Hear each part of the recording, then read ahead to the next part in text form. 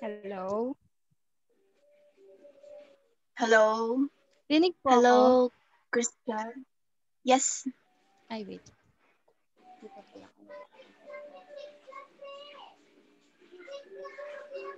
Hello po.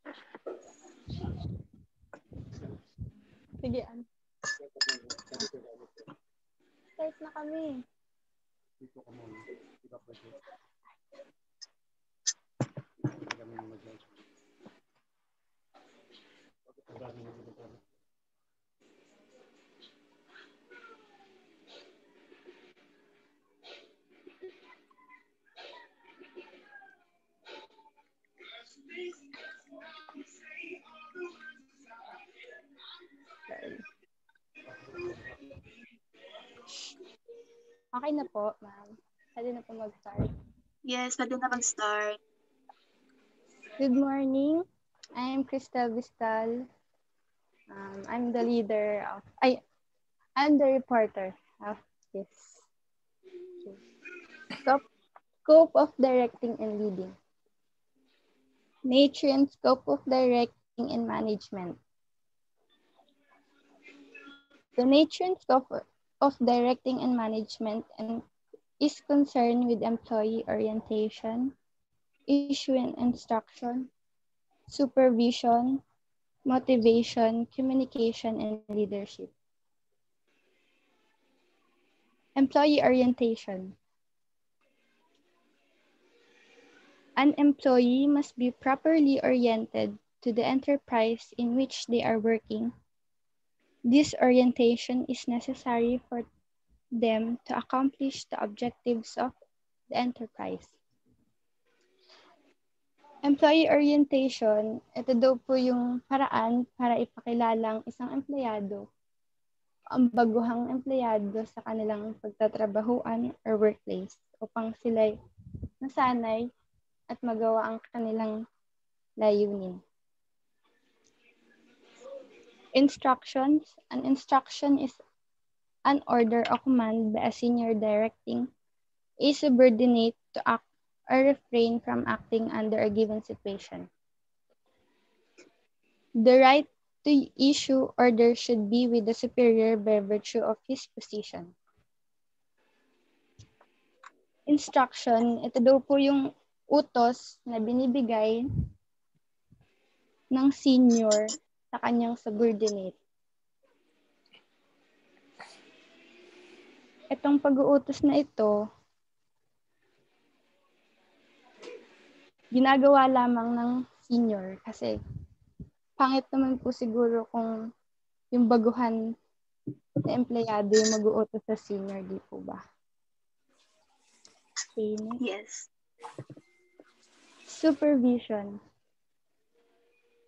In order to see that the work is done according to the instructions, the superior must observe the activities of the subordinate. Supervision is done at all levels of management. However, supervision in, is more important at lower levels. Supervision, pangangasiwa o pagbabantay ay paraan para malaman ng superior kung yung task ay nagagawa ng maayos ng subordinates niya. Ito daw pong pamamaraan na ito ay ginagamit sa lahat ng level. Pero mas kinakailangan siya gawin sa mga mababang antas. Motivation. One of the most challenging problems for management is to motivate people. Management has to induce the employee to utilize his talent and skill to contribute the organizational goal. Motivation, Ito daw po yung isa sa pinaka-importanting elemento. Isa din siya sa pinaka-mahirap gawin.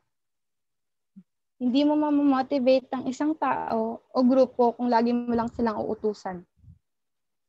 Ang pagmamotivate ng isang tao o grupo ay kinakailangan ma-inspire sila, mapalabas, madagdagan nila natin yung willingness nila para magamit nila yung skills or kakayahan na meron sila para ma-achieve yung goal. Motivation has two sides. It could be positive or negative way. May mga paraan kung paano mag-motivate ng tao. Minsan ginagamitan ito through verbal, like good communication with employees, appreciation with their work. May mga iba naman na motivate sila pag may incentives, like financial, may bonus or raise of salary, meron namang namomotivate in a negative way. May namomotivate pag napapagalitan sila ng senior nila. Saka lang nila na-realize yung mga dapat nilang gawin or baguhin. So basically, motivation is directed toward prompt people to act. Yun lamang po. Thank you. Okay. Thank you.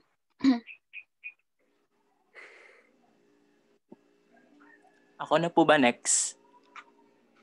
Yes. Ikaw ba yung sa reporter ng leadership? Yes po, ma'am. Okay. Go ahead. Good morning, everyone. My name is Julius Villar, and I'm the one who will who will report the leadership. At first, I will define what is the meaning of leadership. Leadership is an act of is an art of motivating group of people to act toward achieving a common objective or goal. Yung sinasabi po dito, yung leadership po daw, siya daw po yung nag-motivate sa bawat member ng grupo para mag-motivate. So parang siya po yung ano, yung nagbibigay po lakas or lakas po para ano, gawin yung mga bagay or siya po yung nagli-lead sa mga member. Ano po. Yes. Leadership is not only to lead people but also to guide and inspire every member to work hard and always be confident.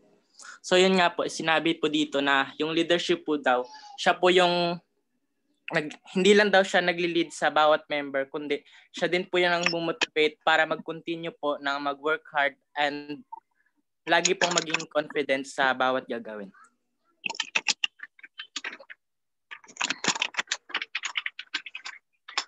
Leader leader or leadership has a big role in every group of people.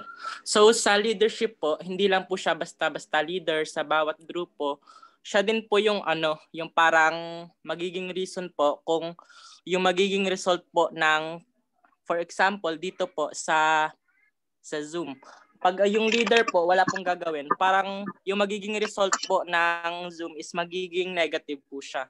So parang yung leader po, for example, kung kung sino man po yung leader sa amin, siya po yung ano, yung mag, may pinakamalaking role po para matapos or ma-achieve po namin yung goal namin ngayon, which is makapag-report.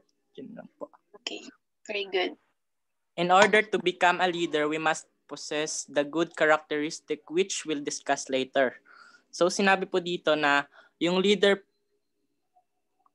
yung leader po kailangan po may mga good characteristic po siya na mapoposes sa, sa kanyang sarili para maging leader para maging mabuti po siyang leader. So parang dito, pag magiging leader ka, kailangan makikita mo sa sarili mo na may characteristic ka na ma ano po, madi-discuss po later pagkatapos ko po. Leadership is not just by simply lead people, they also need to become a good role model, role model in every member. Poor leadership will lead a whole group into failure and mistake. So parang gano'n na po, pag isa ka pong leader na kunyari po tamad, so yung mangyayari po sa grupo nyo or sa member nyo, magiging tamad din po siya. Gaya po ng sinabi ko, yung leader po, kailangan po ma-motivate niya po yung bawat grupo para mag-work hard po and ma-achieve yung goal. Yun lang po. Okay, very good. Ako na po sunod, ma'am. Qualities of a good leader. Number one. Okay na po, ma'am. Yes. Mm-mm. Number one. A leader must possess energy. A lazy and weak person cannot be meaningful leader. The energy is not only physical energy, but also mental energy as well as spiritual energy too. It means that the leader can control his or her thought, attitude, judgment to communicate properly to the other subordinates. Number two, emotional stability. This is important because it en- enables the leader to act with self-confidence. He avoided anger, resentment, fear, and other negative emotions and reactions. All this necessary so that he can able to lead the subordinates with understanding. It means that even though you have a problem, you need to control it so that your work does not affect and be more productive. Number three, the leader has a good knowledge of human relations. Human relations demand a good understanding of human behaviors and of constructive reactions to, the, to, to these behaviors. It means you need to be more observant and considerate to your subordinates to have a better communication. Number four, empathy. The leader has to put himself in this position of the subordinates. He must not take decisions solely at his own level. He must assess the impact of an impending decision on his followers. He has to look at things objectively from the subordinates' point of view. It means that the leader should need to know what others' point of view before making decision in order to have a good relation to others. Number five, personal motivation. The leader wants to start something new. He has initiative. He has idea which he wants to put into practice. It means that the leader have a plan or actions to improve something or solve a problem properly. Number six, communication skill, which is ability to write and talk forcefully. The leader message is always clear and direct to the point. He uses other forms of nonverbal communication, such as smiles, gesticulations, among the other convey his message to the audience. It is very important because if you have good communication to your subordinates, you can build trust and improves productivity and creates better relationship. Number seven, teaching direct to the point to the point of view ability which enables the leader develop and inspire his subordinates. It is a matter of good communication skills. If the leader tend to explain his or her teachings properly, then the subordinates gain the message or knowledge behind it. Number eight, social skill. This enables the leader to understand people and know their strengths and weaknesses. All this make him to be friendly and approachable. A good engagement skill with other matters because this is where other people know and understand others' perspective. Number nine, technical skill, which provides him with an effective knowledge and insights of the work operations under his guidance and supervision. Technical skill provides advantage to a, to a leader for him to manage his duties as well as his sub subordinates. Ayun lang po. Thank you.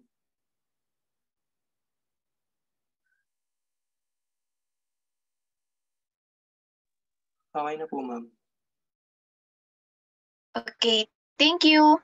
So, ang group members ay si Robalting, si Villarin, Villar, Villanueva, Vistar, at Tolero. Okay, so yung group 2 naman.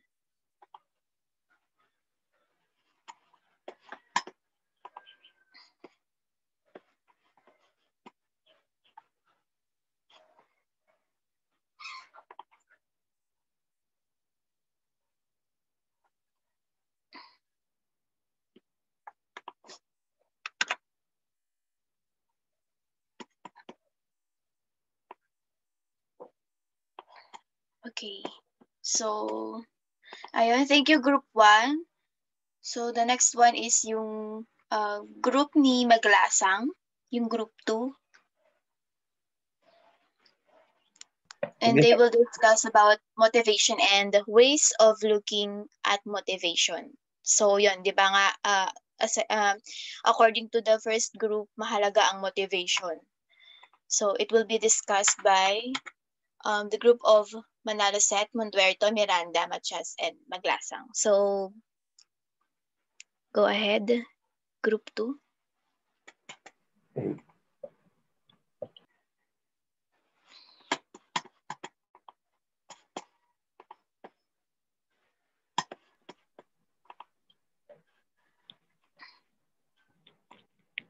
Hello, mic, Okay. mic check. Sound check. Rinig po ba? Ayan. Yes, Alright. rinig naman. Ayan. Good morning, everyone. Uh, this is the group. Uh, this is our group named Groupings. and our topic for today is about motivation. First things first, what is motivation? Uh, motivation is a reason for actions, willingness, and goals. Motivation is derived from the word motive, or a need that requires satisfaction.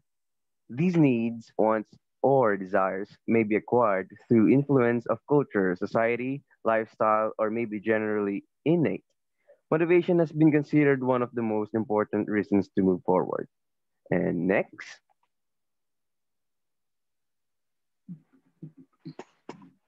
Uh, these are the ways of looking at motivation. The numbers one to six will be um, reported by Miss Miranda. Number one, make a deal with yourself. Good for overcoming procrastination and getting things done. You can make the deal small or large. You simply tell yourself something like, when I'm done with this chapter, these reports, I can take a walk in the park and enjoy an ice cream. Number two, ask a uplifting question in the morning. Here's what you do. Every morning, ask yourself five empowering the part the part question this way. What I am. What am I blank about in the life right right now? What about it makes me laugh? How does it make me feel? Put in your own value in the blank space. For instance, a couple of my questions are What am I happy about in my life right now? What am I excited about in the life right now? It's important that you really feel how it makes you feel. When I think about the last part, about what makes me happy right now, I really feel it.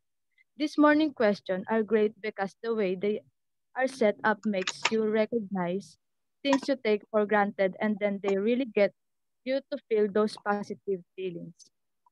Number three, move the goalpost. Set a large and a specific goal. This will motivate you much more than small goals. A big goal has a big effect and can create a lot of motivation. Number four, do something small and create a flow. Just clean your desk or pay your bills or wash the dishes. Just need to get started. When you have finished the small task, you feel more alert and ready to go do the next thing. Started to get motivated. So if you really don't feel like doing anything, your way out of. Number five, do the toughest task first. This will ease a lot of your day-to-day worries and boost your self-confidence for the rest of the day. Number six, compare yourself with yourself, not with others. Comparing what you have and your result to what other people have accomplished can really kill kill you motivation as it ups your self-doubt. There are always people ahead ahead of you. Most likely quite a bit of people, and a few of them are miles ahead. So focus on you, on your results, and how you can have improved them. Reviewing your results is important so you see where you have gone wrong. in the past to avoid similar missteps further on. Thank you. And the number seven is remember your successes. It means that um, don't just um, consider the wrongs you've done or the um, flaws you've done in your past, but also consider your success so that you can um, balance your mindset, not just in the negative side, but also the positive. Number eight, remember remember to have fun. Of course, if we motivate ourselves, we um, we may we made we make fun of everything um, we see or we we touch. Um, uh, and then so now, number eight, number nine, get out of your comfort zone. In motivating ourselves, um, there there's also a lot of zones or areas in our lives that we are not comfortable. So we should get out of our comfort zone so we can also uh, motivate ourselves better. And then for number 10, focus on the positive. That's what I said um, earlier on the number uh, seven. We could focus on the positive and set aside our ne- negative sides uh, to make the balance in our mindsets. And on the number 11, write down your goals and reasons for working towards them. Um, making a diary or journal makes us remember the things we've done uh, positively and the good things we've done.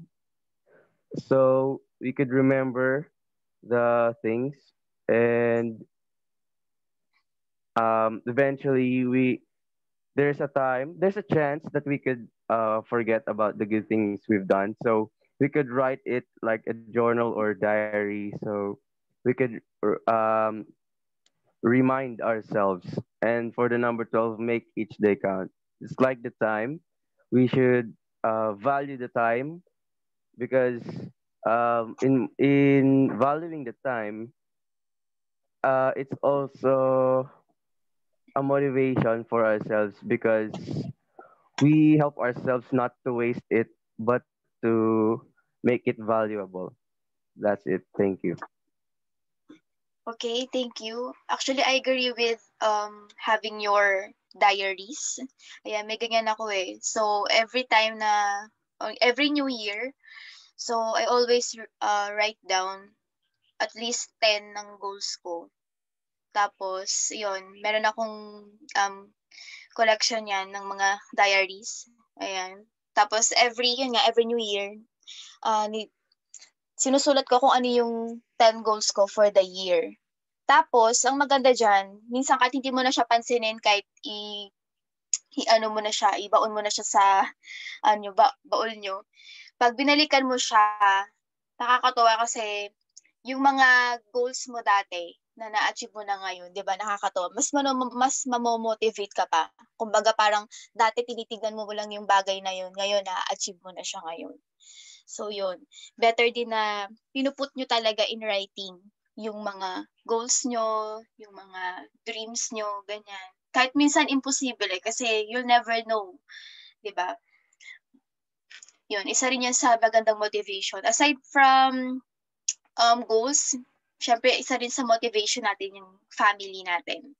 Ayan. Kung bakit tayo nag-work hard, bakit tayo nag-aaral, syempre para matuwa yung parents natin, kaya tayo nag-aaral ng mabuti. Syempre, iba yung, iba yung magiging uh, saya or happiness na mararamdaman ng parents natin pag nakita niya na, na wala tayong bagsak, ganyan, na um, we're doing good in school, ganyan.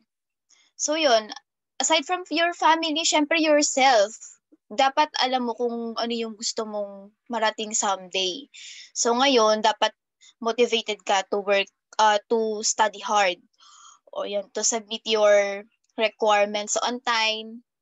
Yan, and as well as taking ser- taking, it seriously. Kumbaga, pag nagsasagot ka ng exam, dapat um, seryoso, pinag-aralan mo mabuti, nag-review ka. Ayun. Kasi may goal ka someday na gusto mo ng ganitong work, ganyan. So, yun. Okay, thank you for the group 2. So, next naman natin yung group 3, yung group nila Bulahan. So, you're going to discuss about the characteristic of individual and the types of reinforcement.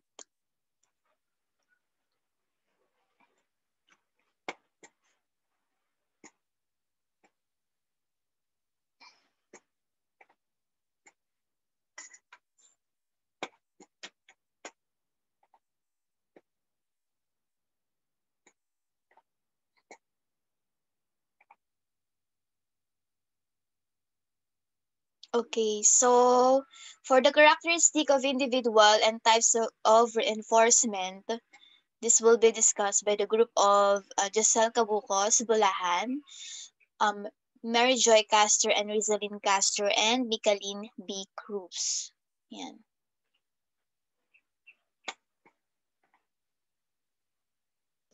Okay na po, ma'am. Yes, okay na. Okay.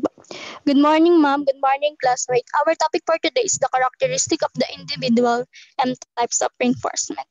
Um, Trisha Bulahan will be report the characteristic of the individual.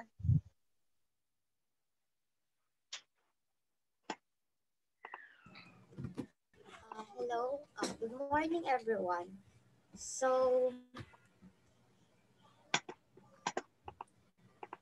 each individual bring his or, or her own interests, attitudes, and needs to the workstation. Hierarchy of human needs. Uh, sa lahat ng sa lahat ng theory of motivation, kay Maslow na theory ang nababagay sa organizational environment. One of the reason for this is hindi lang sa human needs nagfo-focus ang theory ni Maslow. Pwede din siya sa pagmamanage ng human behavior na pwede sa organization. Uh, so, ma so makikita natin dito, may limang stages sa binigay si Maslow sa human motivation niya. Yung una, psychological need, which include the need for air, water, food, and sex. Security need, uh, security need, which include the need for safety, order, and freedom from fear or threat. Belongingness and love, or social needs, which include the need for love, affection, feelings of belonging, and human contact.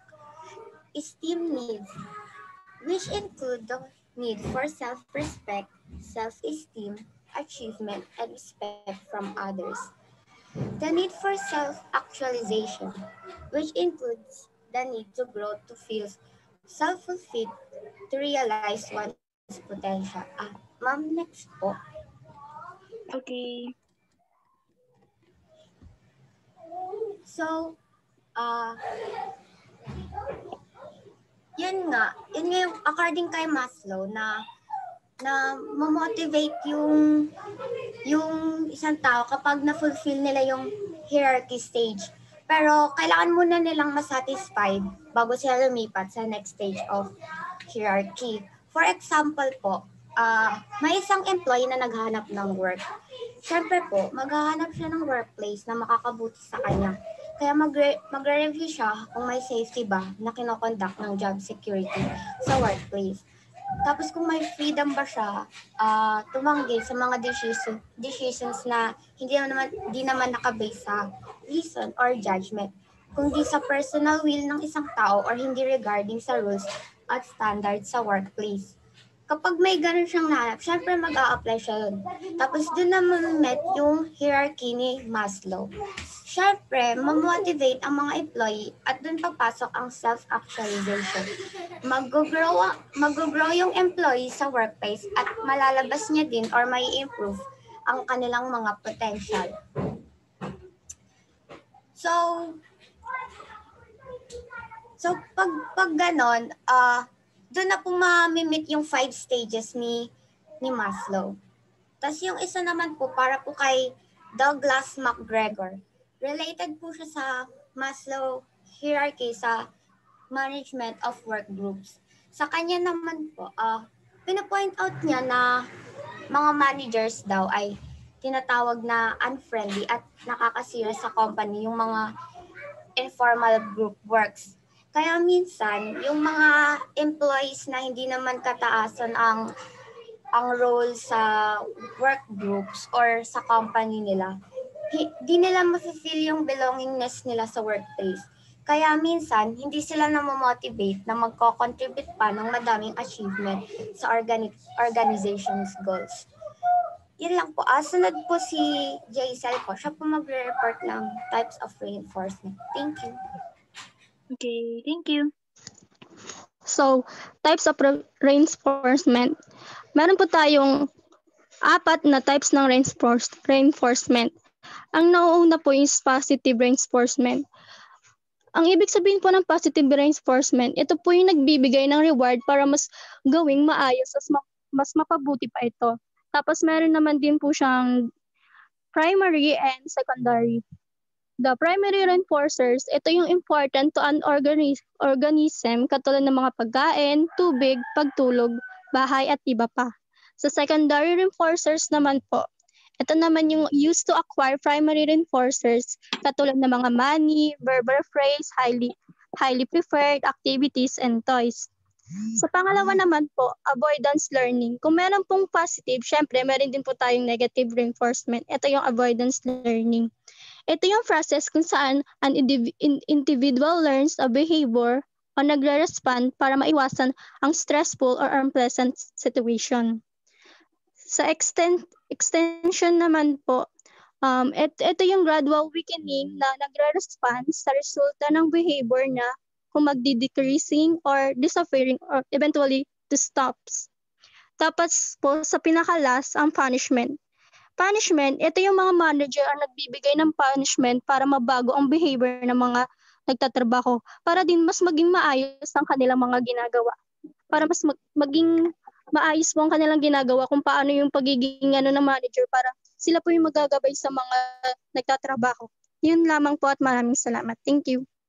Okay, thank you for the group um group 3. Tama ba?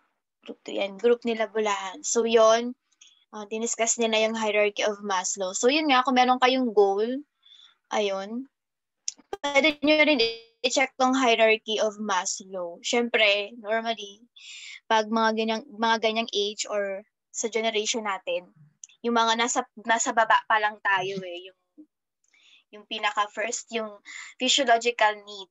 Yan. Siyempre, uh, we need air, water, food. Yan. So, yun nga, pag nagka-work din tayo, ayan, nag-work tayo, pwede na tayong pumasok sa security need. Dito rin papasok yung mga ano, um, financial freedom, ayan, pwede na tayo makapag-provide ng sarili nating bahay. Ayan, syempre dahil estudyante pa lang tayo, nasa, actually nasa physiological need pa lang tayo. Ayan, kailangan, ang kailangan pa lang natin ay air, water, and food. Tapos pag nakagraduate na kayo, yan pwede na kayong pumasok sa security need. Syempre, nakakabili na kayo ng, ng bahay eh. Tapos meron na kayong um, pera, meron na kayong, kumbaga may meron na kayong rights para bumili ng mga sarili nyong gamit or wala, hindi na kayo umaasa sa parents nyo. Ayan. Siyempre, after nyo ring, um, after nyo magka-work, ayan, syempre, saka tayo papasok sa belongingness and love. Ayan. Syempre, di ba, bago tayo pumasok sa mga ganyang um, uh, sitwasyon, make sure na dapat, ano tayo, tapos tayo sa pag-aaral. Ayan. Kaya ito rin yung mga dapat nung sundin. Ganun. Pero minsan kasi, um, ano eh, nalalaktawan tong ano eh, uh, security need ng mga tao. Parang after ng physiological need, maraming mga tao na lumalaktaw sa belongingness and love. Tsaka sila pupunta ng security need. Ayun. So, depende yan sa discard nyo sa buhay. Yan, kung ano yung gusto nyong unahin. Ayun. Pero dapat physiological need, security need, and belongingness and love. Siyempre, pag ano na, feel mo belong ka na, mabuboost yung ano natin, yung self-esteem natin. Especially kung, kung graduate ka na, tapos meron ka ng, uh, kumikita ka na ng pera, tapos may nagmamahal pa sa iyo. So, tataas yung self-esteem natin, di ba? Ayan. So, syempre, pag meron ka na respect sa sarili mo, meron ka ng um, self-esteem, confidence, meron ka ng ability to share what you have. Yan. Syempre, kunyari, kung meron ka ng um, knowledge, ganyan, um, papasok ka tayo dito sa self-actualization. Ito na yung time na sinishare mo na yung mga meron ka sa buhay. Yan. Meron kang marami kang pera, sinishare mo na. Meron kang mga ideas and knowledge na sinishare mo sa mga mga bata. Ayan nandyan ka na sa part na yan. Yan. Okay? So, yon May questions ba sa group 3? So, pwede na tayong mag-proceed sa group 4. So, yon mini-message ko yung mga leaders nyo na mag, ano, na mag send sa akin ng ratings ng per member. Yan. So, 1 to 10, 10 as the highest, 1 yung lowest. Yan. So, i-rate nyo lang yung members nyo. Kasi kasama rin to sa, sa ano nyo eh, sa, sa score. Okay, so group na ni S. Group 4. So, ang topic nila, leadership theories and function.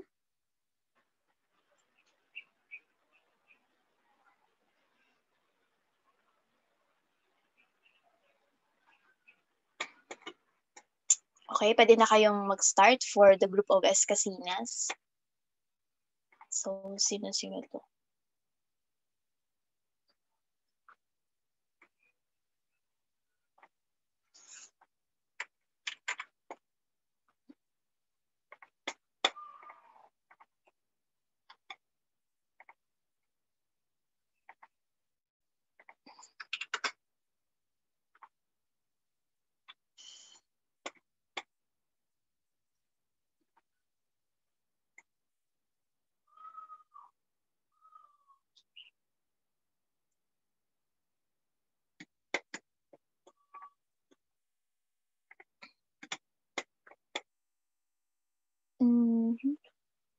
Escasinas.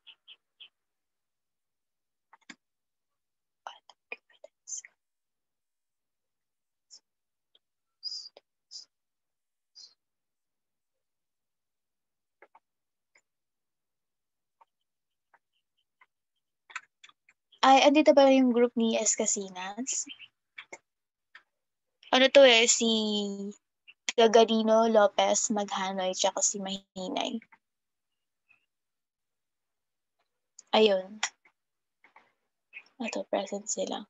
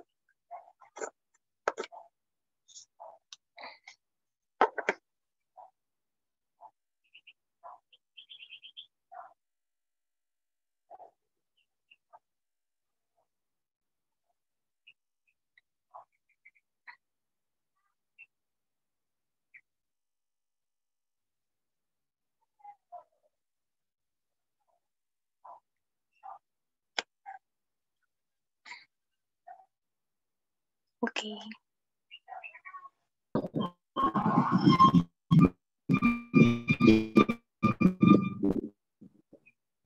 Good day, everyone. Ma'am, rinig ko ba ako? Oo, rinig naman.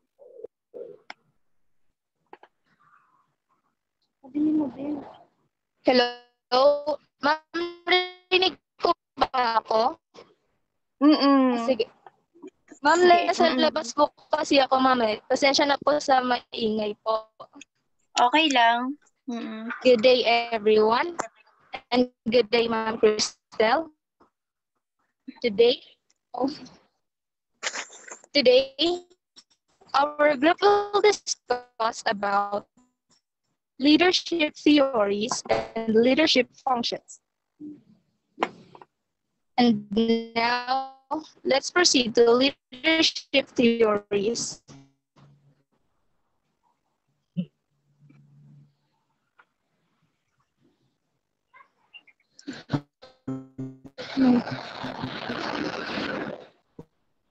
What is leadership theory? So what is leadership theory?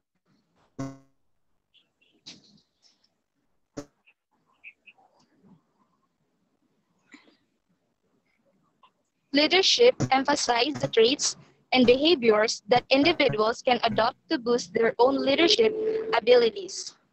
Basically, we have five major leadership theories. Trait theory, contingency theory, situational theory, and behavior. And let me discuss all these theories. And let's begin in the great man theory.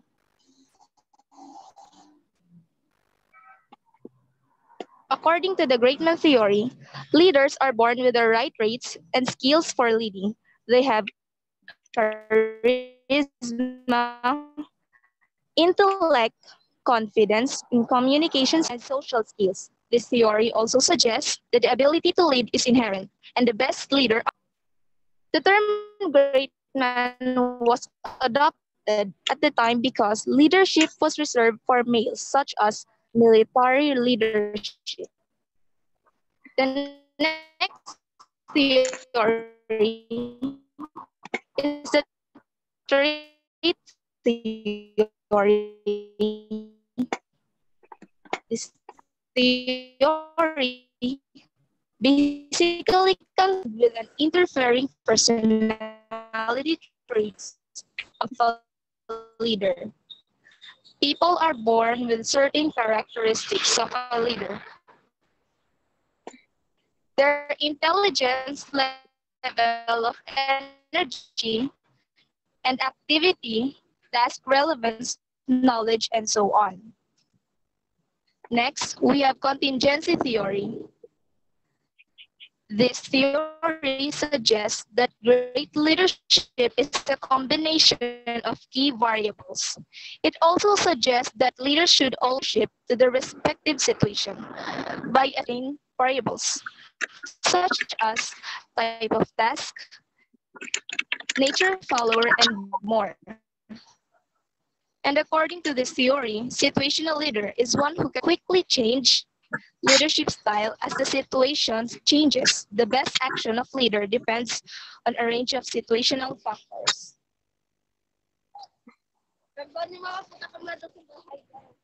The last theory is behavioral theory. It focuses on specific behaviors and action of leaders.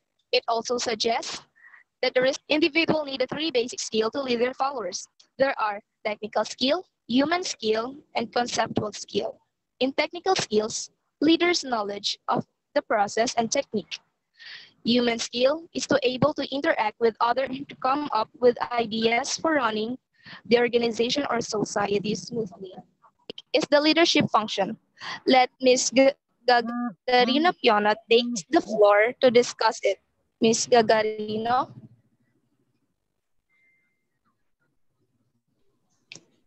10 functional leadership characteristics. Number one, priority on needs. The basic notion of functional leadership is that any group will have three primary needs. The needs of the task, the needs of the team, the needs of individuals who make up the team. Two, focus on actions. The functional leadership theory has been developed after studying the behaviors of successful leaders and identifying the particular actions that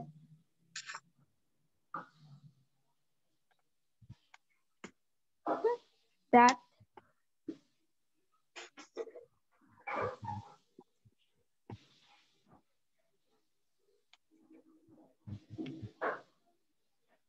that led to successful result, results. Here, the Focus is more on what the leader does on who the leader is. 3. Result-oriented in function leadership. What matters is whether things get done. 4. Flexible leadership role. The functional leadership approach maintains that it is not necessary for a group to have only one particular member who performs all the leadership functions. 5. Clear understanding of individual responsibilities. Under the functional leadership style, where the actions of each individual matter, it is of vital importance that each member knows exactly how, how he or she contributes to the group to the group to achieve its goal, goals.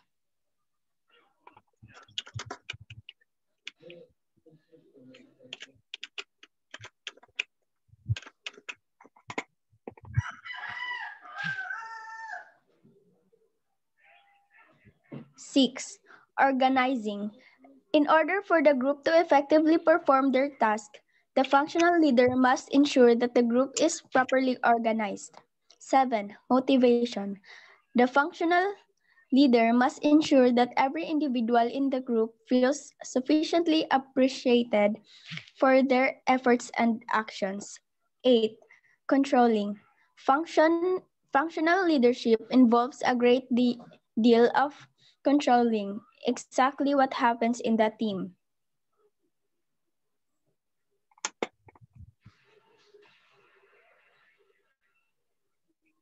Nine, setting an example. People tend to observe their leaders and emulate their behaviors. 10. Guidance. Team members want to know how, how they are doing and whether they need to change anything.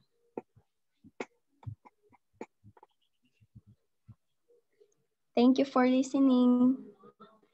Okay. So actually, medyo same to dun sa diniscuss natin last um, quarter, yung mga theories. So, yun din yun. Parang halos. Okay, so yung next group naman ay group nila Malveda. So, thank you group 4, group of Escasinas. So, yung next naman natin ay yung group ni Malveda. Wait lang ah. Group nila Malveda and um, ready na rin yung group nila uh, Hipolito. So for the group of uh, Malveda, uh, they're going to discuss leadership style and leadership development. Okay. So for Malveda, um, Montano Morales, More, and Pacaro.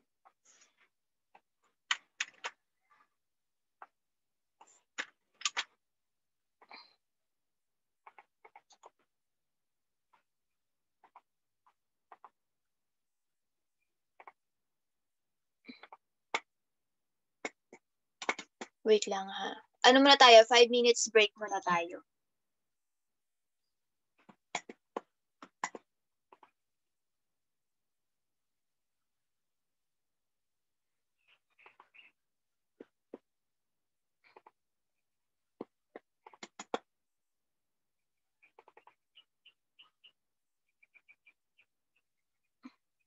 Five minutes break since 11 naman na.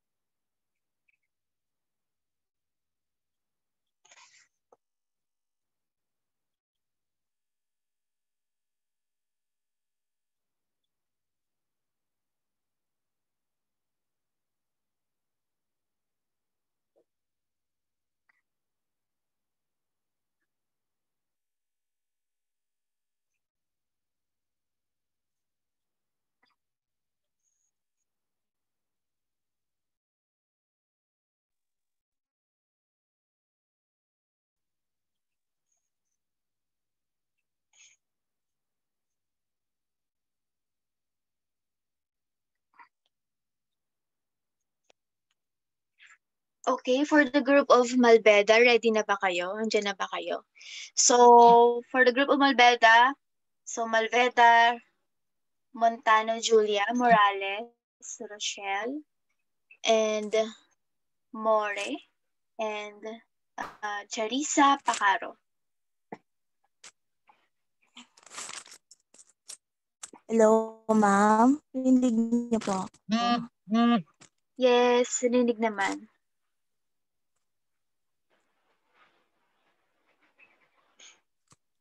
Okay po. Good morning, everyone. Our topic is about leadership development and leadership style. Leadership development will be reported by um, Morales po. Morales. Good morning, ma'am. Rinig po ako.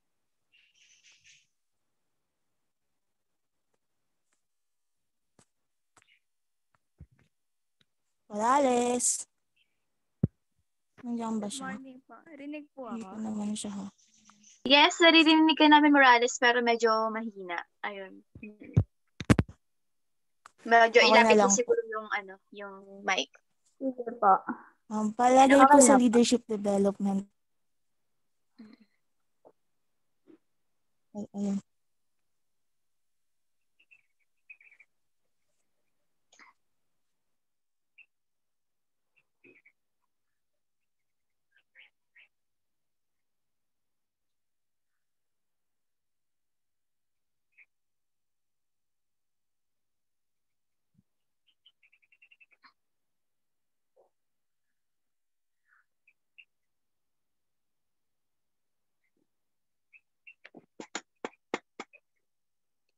Paano po sa leadership development po? Ah, okay. Sige, sige. Sorry. Ayan na. Leadership development refers to activities that improve the skills, abilities, and confidence of leaders. Programs vary massively and in complexity, cost, and style of teaching. Coaching and mentoring are two forms of development often used to guide and develop leaders. Yung leadership development po, tumutukoy po siya sa activities na nakakapag-improve ng skills, abilities, and confidence ng leaders. Programs must introduce modification or changes into something so as to make it different or less form. There are two forms of development na mas ginagamit para i-guide and i-develop yung leader. Ito po yung coaching and mentoring.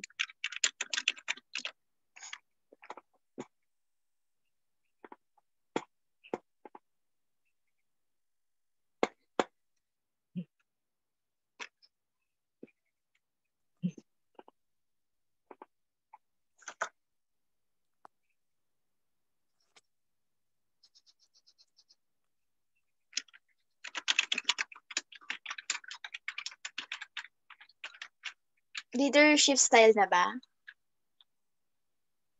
Opo. Okay. Ay, ma'am. Sorry po, na- nag-reconnecting po. Okay lang. Okay po. Number one is autocratic style. Believes that he or she is the smartest person at the table and knows more than others. They make all the decision with util input from the team members. Um, ito yung ano, klase ng style na crucial decision siya, made on the spot na ginagawa yung decision. And ito yung ano, leader na bumabase siya mismo sa result ng ginawa nyo. Next is authoritative style, also known as visionary. They mark as confident leaders who map the way and set expectations while engaging and energizing followers along the way.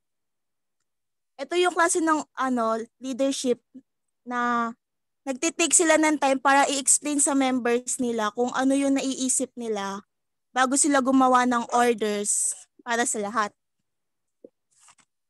Next is pace setting style. A very driven leader who sets the pace in racing. They set the bar high and push their team members to run hard and fast to the finish line. Effective in getting things done and driving the result as a style that can hurt them. Most employees may become stressed working under this style or of leadership in the long run. Ito yung klase ng style na kailangan may fast results. Tsaka yung leader nito, nagsiset siya ng high standards para sa mga members niya. Accountable din siya for hitting their goal. Goals pala, sorry. Um, democratic style. They share information with employees about anything that affects their work responsibilities. They seek employees' opinions before approving a final decision. Ito yung klase ng style na mostly lahat tayo ginagamit to. Yung magtatanong ka muna sa mga members mo, then mag-agree pag nag-agree na kayo lahat, yun yung gagawin yun yung gagawin niyo. Kumbaga ano uh, nag-aas sila ng feedback par, bago mag-made ng decision. Then next is coaching style. A leader who coaches views people as a deserver or talent develop. A coach approach seeks to unlock people's potential. Ina-unlock nila yung talents nyo. Yung ganun silang mga leader. They believe that everyone has power within themselves. So, nire-recognize nila yung team na, yung team members na yung strength ng team members nila. Eh nagbibigay sila ng motivations. Affiliative style. The leader gets up and close personal with people. Practicing this style pays a lot of attention and supports the emotional needs of team members. This style is all about encouraging harmony and for forming collaborative relationships within teams particularly useful for smoothing conflicts and among team or reassuring people during times of stress. The last one is leisure fair style. Opposite of autocratic style. Involves at least a least amount of oversight. You could say that the autocratic style stands as the firm of rock and issues, while the laissez-faire leader lets people swim with the current may appear to trust people to know what to do, but taken to the extreme, you uninvolved leader may end up appearing aloof. Yung ganitong leader, hindi sila, sila yung tipo ng leader na hindi masyado nagbibigay ng attention sa inyo. Kumbaga, pinapagawa na nila sa inyo lahat, tapos titingin lang sila ng onte. Then, meron din silang high standards kagaya nung ano, ng authoritative style. Ang focus nila is mostly providing a little of supervision. And that's all. Thank you po. Okay. That's all for, ano no, for group of Malbeda. Okay. So, yon Thank you for the group of, ayan, sinong leader niya? Si More ba? or si Pacaro?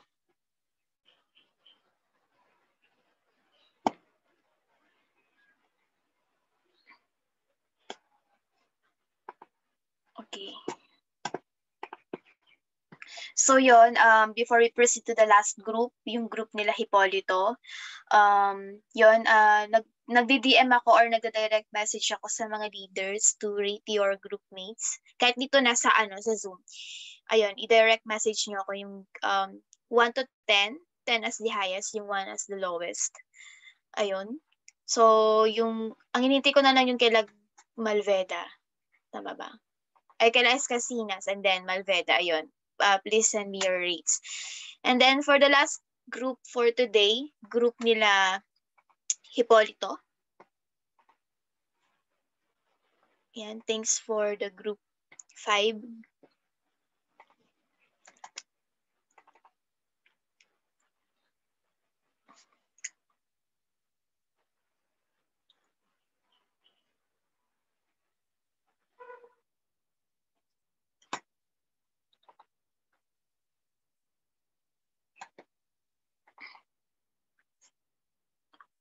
Ready na ba ang ano, group ni Hipolito? Yes po. Okay, sige, wait lang. I-ano natin yung PowerPoint.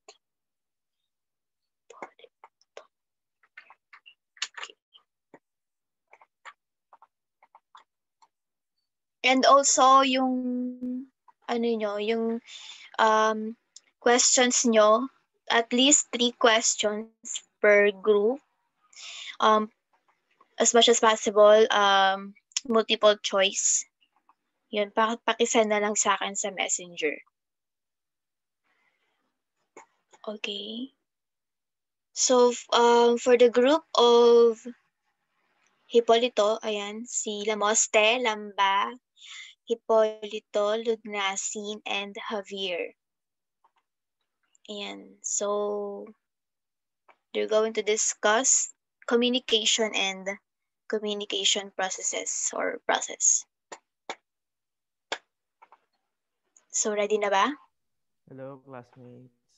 Uh, good morning. And this is our report. Ma'am, pa, ano po sa next slide? Okay.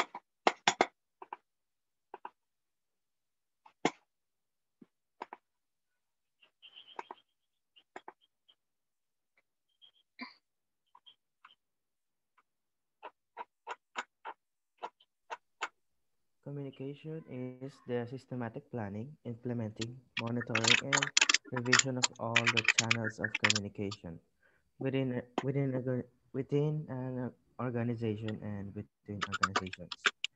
It is also include the organization and dissemin- dissemination of new communication directive communication directives connected with an organization network network of network or communication technology.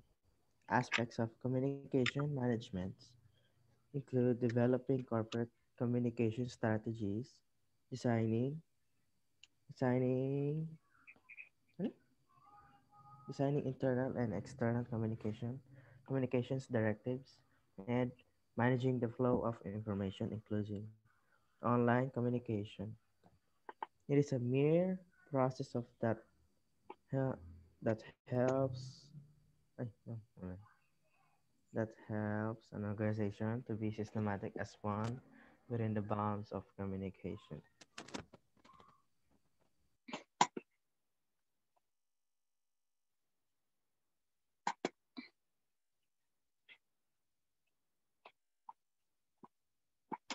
Next na po si Hannah. Okay.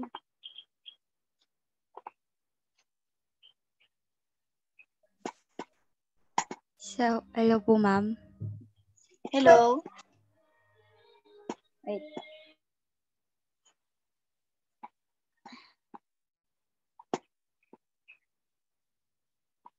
Uh, communication process. Some would say that the communication process may seem simple, where an individual sends a message and someone would receive it. The communication process describes how a message is delivered and received. When looking at communication as a process, then one must look into its elements. Berlow's model of communication, 1961, is one good example to describe the process since the model elucidates the commonly used elements such as the source, receiver, message, channel, and feedback. As Onkiko and Floor pointed out, a basic understanding of the communication process is important to achieve the highest social good in its application. The receiver, according to Berlo, is the target of communication, where he or she listens when the source communicates verbally or non-verbally. The message is the transmitted idea, purpose, or intention that has been translated into a code or a systematic set of symbols from the source. Berle identified three factors of a message, which in- include message code, message content, and message treatment. So these definitions of communication process show that communication involves exchange of thoughts between two parties. Yun lang. Thank you. Okay. So, done na with the communication and, and communication process. Okay.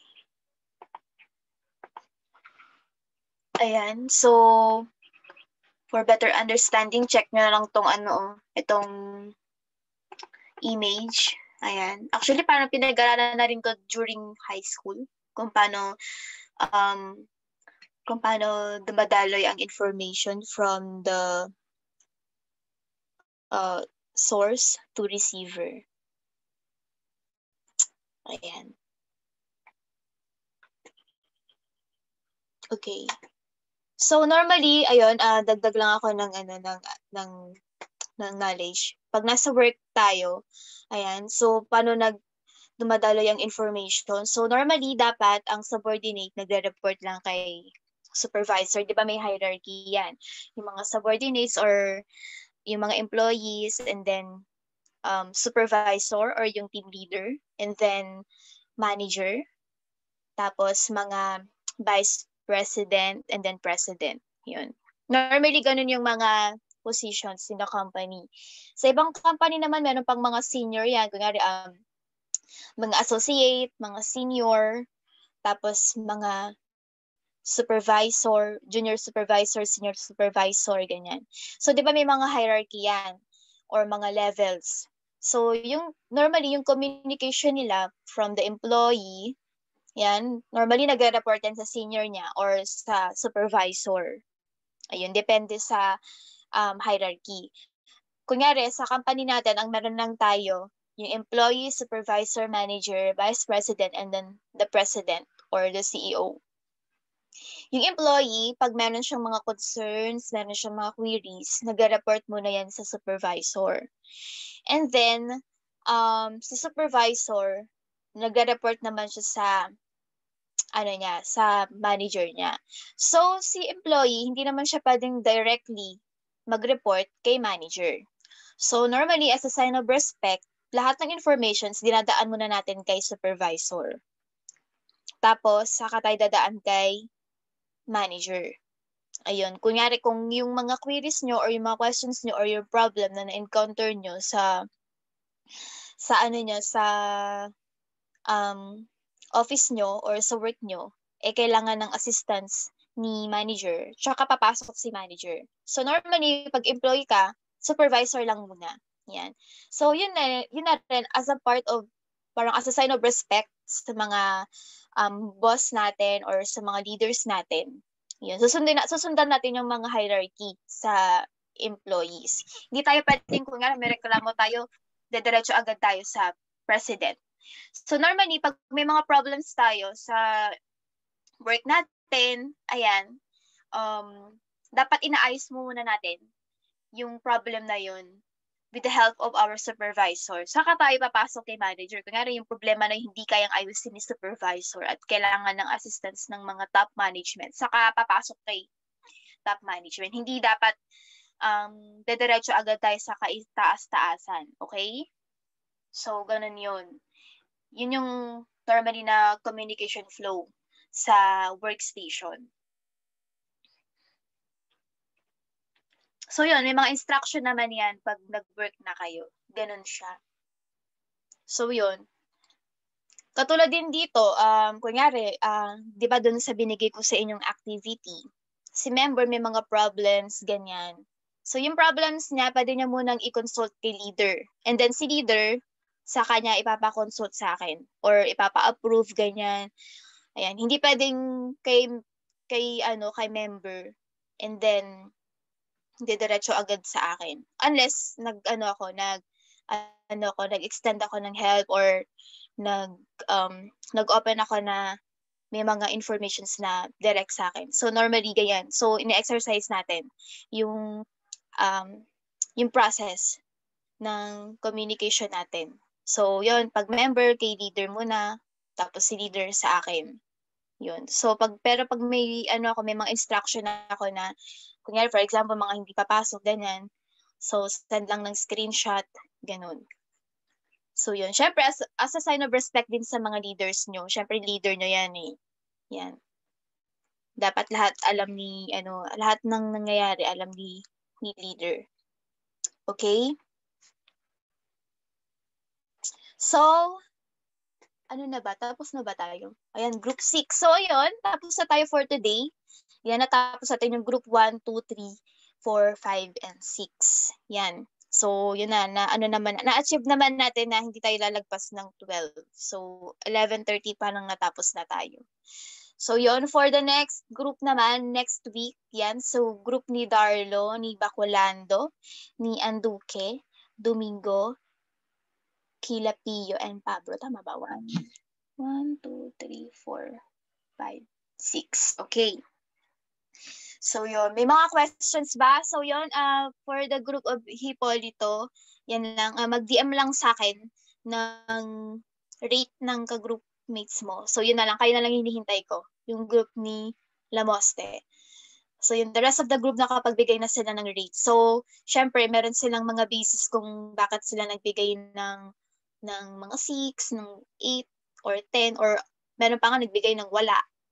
So yun, acceptable yun, lalo na pag hindi talaga nagpaparamdam sa leader or wala talagang ginawa or nag-extend ng help pero hindi talaga. So pwede kayo magbigay ng um, ng 1 or 0 lalo na pag wala talagang paramdam. Okay, so may mga basis naman yung mga rates. So may mga questions ba for the next group? May mga questions ba sa mga reporters? And sa grade din? Ayan, so yon uh, sa mga nag-email sa akin, magsisend ako later after ng klase. May mga questions ba?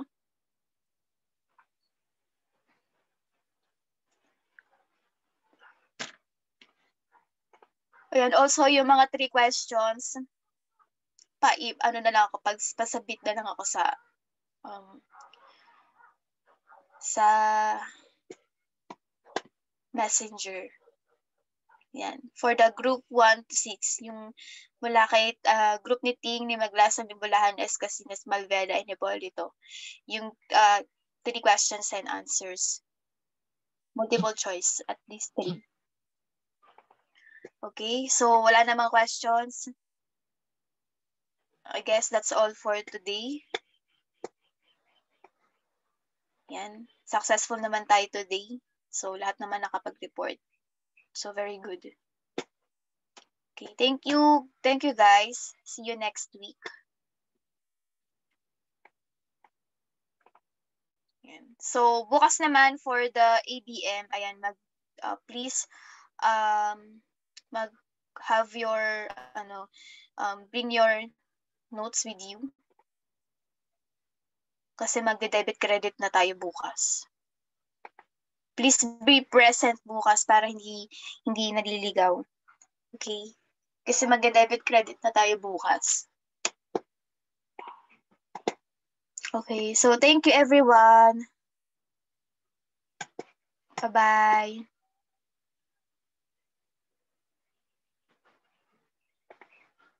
Thank you po, ma'am.